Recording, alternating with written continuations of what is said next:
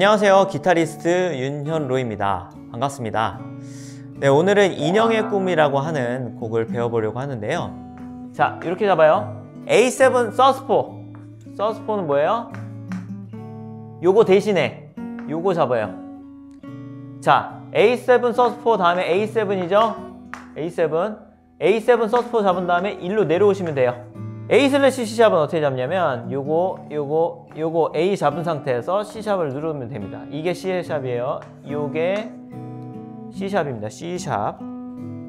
요게 C샵. 요게 D샵.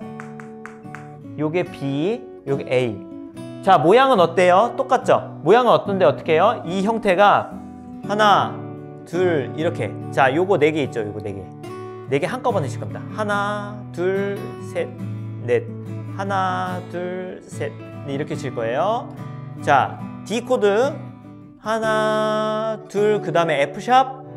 항상 네가 있었는데 그댄 영원히 내 모습 볼 수 없나 여기서 이렇게 가셔도 되고 B minor 이렇게 가셔도 되고 B slash D sharp 어떻게 잡는다고요? 여기를 살짝 대주시고 끝에 여기 브릿지 있는 데 있죠 브릿지 있는 데 살짝 대주시고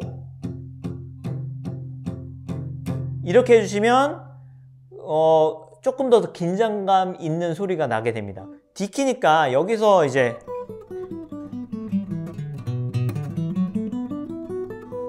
예, 여기에서 이제 요 블럭에서 노는 건데 8, 7 이렇게 들어가요. 따다단 딴딴 따다단 따다단 딴딴 아까 사, 달 세뇨 세뇨 옆에 보시면 그 우주선 모양 두 개가 있는 경우가 있어요. 그쪽으로 넘어가시는 거예요. 벌써 볼게요. 다시 한번. 자, 26마디 볼게요. 나 사랑할 텐데 하면서 49마디로 가신 거예요.